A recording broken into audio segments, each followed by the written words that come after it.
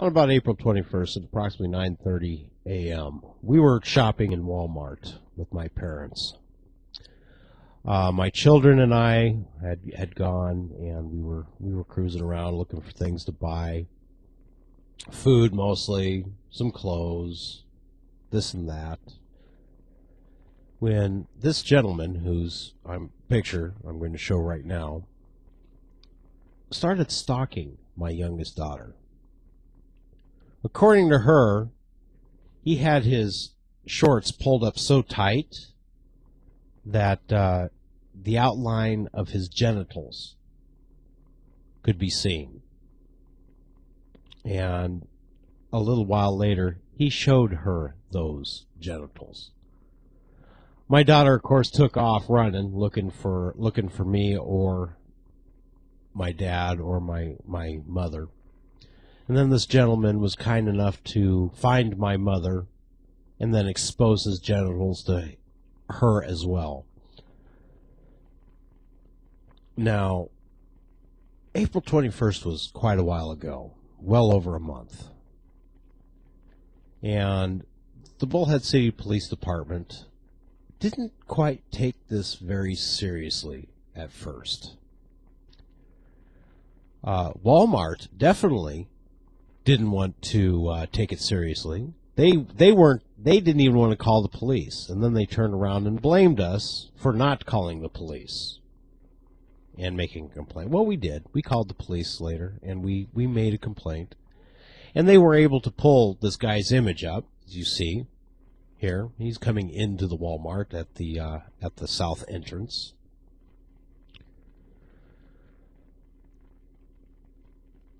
Well, I'm pleased to know to note that they have this dirtbag in custody. He's now being fitted with custom jewelry, as well as probably being fitted for a brightly colored jumpsuit of bright orange, or maybe pink, or whatever, or whatever it is they use over here at the county jail in Fort Mojave. But the reason they have him is because he did it again. He was allowed to go out and do it again. Somebody else was exposed to this fucking pervert. I don't particularly like to use foul language when I'm using when I'm making videos or broadcasting, but this guy is an asshole. I'm really sick and tired of sexual perverts going out and attempting to molest children exposing themselves to women or men or anybody, forcing themselves upon other people unwantedly. While it isn't technically rape, I believe it should be treated as such. My son, who committed suicide a few months ago, was sexually molested most of his life.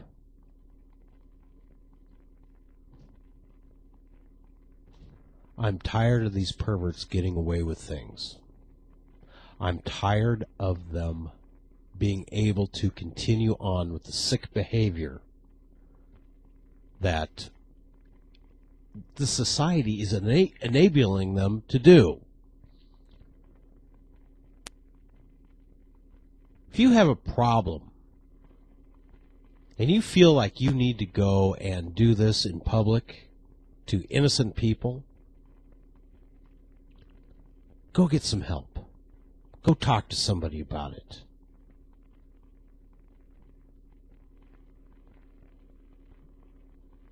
Why do we have to have our children hurt? Why do we have to have people like this able to walk free for so long, hurting others along the way.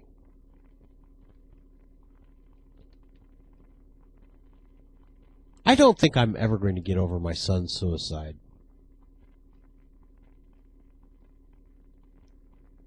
The people who did that to him, who raped him, put dog collars around his neck and shocked him, I'm never going to be able to get over that hurt.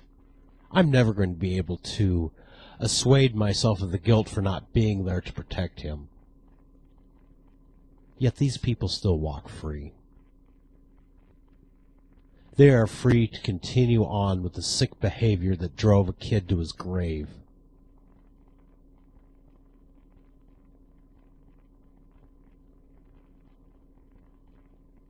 This man won't.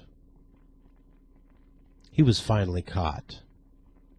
Whether he'll be prosecuted or not is another story altogether. But according to the Bullhead City PD, he will be charged with at least one felony. That's exposing himself to a minor.